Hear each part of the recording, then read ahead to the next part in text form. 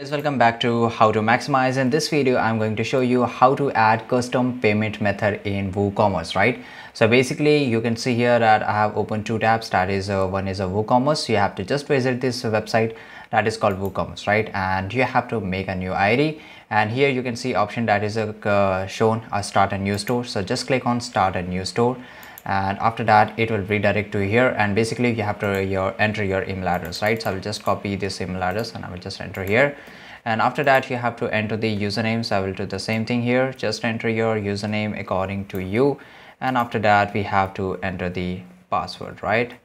And after entering the password just click on the get started. And you can also get started with your uh, google or you can or with the Apple ID, right? So this is pretty easy and it will take a very few seconds just to log in. So till the time we will create a WordPress account, right? So just click on the WordPress here. You have to just go to Google and type WordPress and basically we, you have to do the same thing here. You have to just make a account, right? And here you have to get option where you will see that where you can make a account.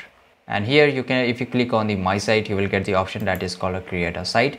And here basically you have to search a domain. So let's say I will just give any shop domain for example and you have to purchase it right? So I will just go with the free version right? So basically uh, we will select here free. I will click on the choose my domain later and after that click on start with a free. So uh, just for tutorial i'm just clicking with the start. Uh, basically if you're starting it out then you have to go through by uh, purchasing your own domain domain right and here you have to select it what you're going to do. So i'm going to sell a product here. So i will click continue and for example i will just uh, write here that is uh, it's a home and garden and just for tutorial i'm selecting right? And if you want to skip you can skip it but don't skip it uh, right now i will just wait. And basically we have to start a simple store. So just click on start a simple store and we have to select the templates here. So basically just for tutorial i will select this one and here you can see. So just click on the unlock theme and basically this is a purchased one so paid one so you have to purchase right?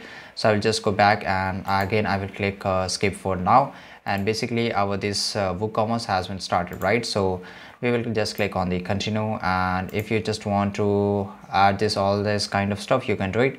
And basically i don't want to do it so i'll just go back here and i will skip this step right?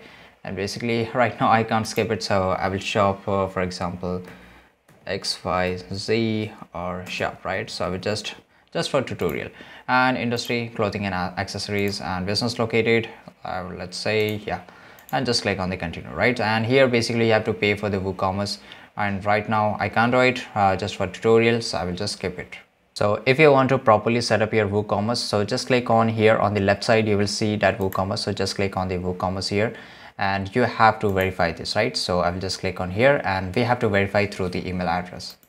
So you can see here that i have already verified my uh, my store now click on the woocommerce and here you will get option that is called start a new store. So just click on start a new store and here you have to enter all the details. For example i will just enter here anything just for example and it can be anything.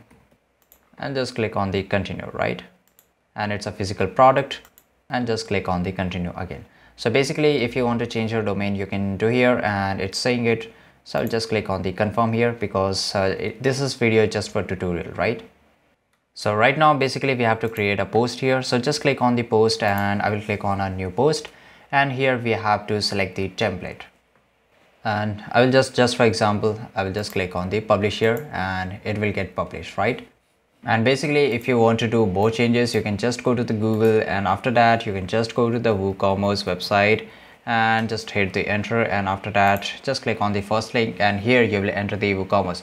And you can just get more plugins and all that right? So here you can see all the extensions and all that. So for example if you want to search for any extension just go to the payment and click on the payment and here you can see that all the extensions that you required the plugins that you required to install in your page. So uh, right now uh, if i just want a payment processor and a gateway so i will click here and you can see just a wait second and here you can see all this. For example i will always use a stripe or you can see the paypal and here you have to download it right? So basically you have to downloading it and you have to attach this plugin to your store. So right now just click on the proceed to checkout and here you have to enter all details and you have to buy it right? And after buying you have to just go to the uh, you have to just go to the this website and here you have to in the wordpress you have to enter the payment right? In this way you will able to attach the gateway and this is pretty easy guys. In the initially you will find some kind of issues or some kind of confusion. So just watch the video from the starting and follow each and step properly. I hope you enjoyed this video and make sure to like this video subscribe channel and see you guys in the next video. Thanks for watching. Thanks for watching